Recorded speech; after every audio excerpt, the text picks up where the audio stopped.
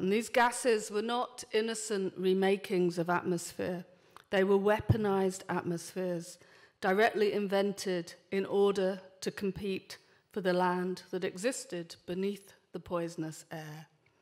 War demanded killing gases, but perhaps no more or less than industry itself, the transformation through energy of one thing or things into other things, the vast production of materials, substances, items, commodities, which sometimes made gas, at times as a product, at other times as a byproduct. In either case, these gases might be lethal. It was the chemical industry that took on for itself the task of making gas, including as chemical weapons.